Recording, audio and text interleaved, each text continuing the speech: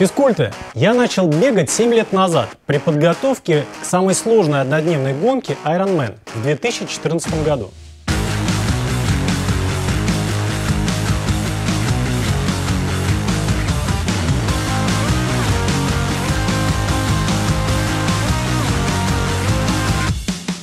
Привет! Я начал бегать год назад, а уже через 5 месяцев начал готовиться к своему первому марафону.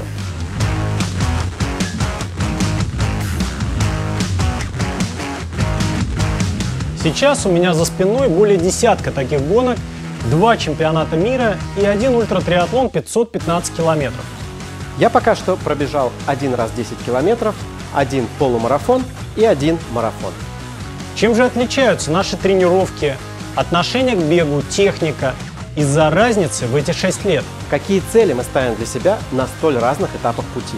И что нас мотивирует? Давайте сравним. Если говорить о марафоне, то отдельно от Ironman я его никогда не бегал. Вернее, расстояние-то я бегал и такое, и больше на тренировке. Но чтобы вот как самостоятельное соревнование – никогда. Мой рекорд внутри гонки Ironman, где беговая дистанция делается после плавания и велосипеда, 3 часа 12 минут для марафона. Сейчас я готовлюсь к своему первому отдельному марафону. И хочу пробежать его быстро. Насколько? Не знаю. Свой первый и единственный марафон я пробежал за 4 часа 13 минут в ноябре 2020 года. Сейчас я приступил к программе «Мой быстрый марафон». И цель осенью 2021 года выбежать из 4 часов, а лучше даже из 3.45. На прошедшей неделе у меня было 6,5 часов бега, получилось 78 километров. Например, одна из тренировок была вот такая. Один час на беговой дорожке – ступенчатая тренировка. Как мы показывали в одном из наших выпуске, каждая ступенька по 15 минут быстрее, быстрее и еще быстрее. И сразу после этого такая же лесенка на велосипеде. И так как мой основной вид спорта – это триатлон, Поэтому не забываю про велосипед и про плавание. Так что на этой неделе у меня было 3,5 часа плавания, 4,5 часа велотренировок и в общем объеме получилось 14,5 часов. Сейчас я начинаю готовиться к своему следующему марафону, примерно в начале осени. Сейчас у меня 3,5 часа бега в неделю, это где-то 30 километров. В основном это медленный бег, ну и интенсивные тренировки, там такие как фортлег и ступенчатый бег. Каждый день у меня от одной до трех тренировок по всем трем дисциплинам. Например, рано утром плавание, а после этого небольшой перерыв и велотренировка. Либо брик, когда бег делается после велотренировки на уставших ногах. Как правило, все тренировки я выполняю рано утром, но иногда что-то переношу на вечер. Стараюсь перейти на 6 тренировок в неделю, но пока получается только 5. Бегаю всегда утром, потому что мне так тренировки даются намного легче.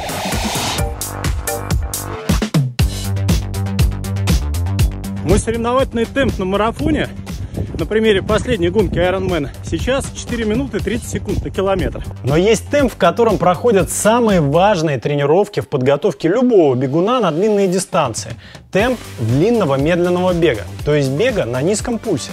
Сейчас для меня это темп около 5,5-6 минут на километр. Я пробежал марафон в темпе 5 минут 57 секунд на километр.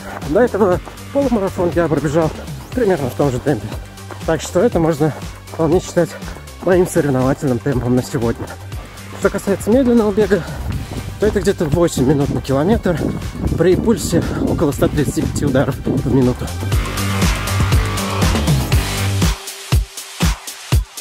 О технике бега можно говорить бесконечно.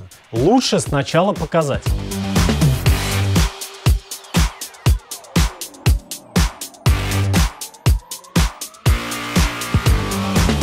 Я знаю свои зоны развития и работаю над этим.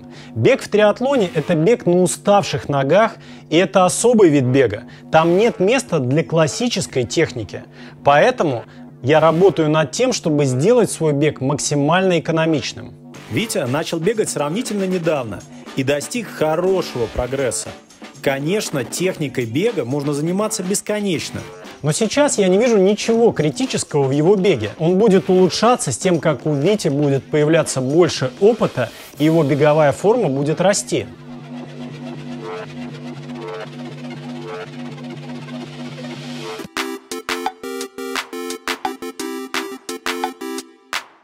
У меня есть спортивные цели, и я работаю над их достижением. Сначала я захотел научиться бегать просто для того, чтобы разбираться в теме бега для наших видео – а потом уже я поставил для себя цель – марафон. Именно благодаря этой цели я не пропускал тренировки, правильно питался, высыпался. Потому что каждый раз, когда, например, мне не хотелось идти на тренировку, я думал, а что если именно этой тренировки мне не хватит, чтобы добежать? Вдруг именно этот недостающий час сна или кусочек тортика или пиццы помешают мне на дистанции? И все сразу становилось на свои места. Сейчас у меня новая цель, и мне действительно хочется показать хороший результат на своем следующем марафоне. Бег, с одной стороны, это основа моей подготовки. С другой, это отличный способ стать лучше. И третье, может быть главное, это самая большая моя коммуникация с вами, друзья. Сейчас мне уже сложно представить, как это не бегать. Бег дает мне цель, дисциплинирует, наполняет энергией каждый день и помогает справиться с лишним весом, от которого я, кстати, страдал всю жизнь.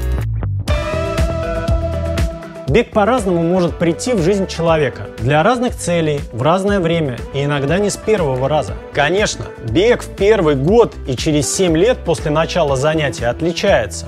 Объемы больше, техника лучше, восстановление быстрее, цели амбициознее.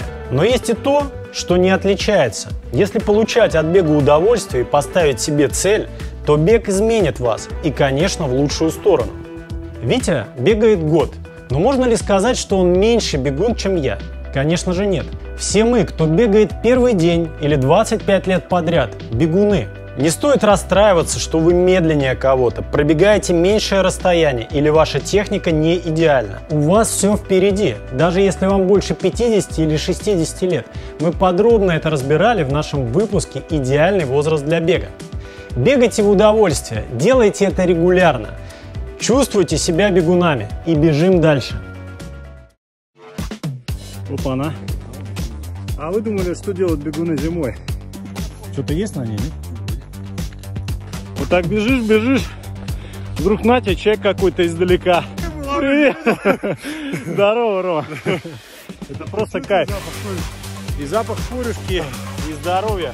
Привет всем. Да. Все, идем брать крепость.